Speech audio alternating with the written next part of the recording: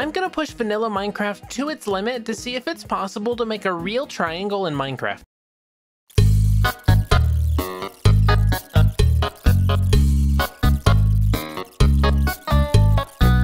The best engineers put duct tape on everything. Well, if you think a triangle's cool,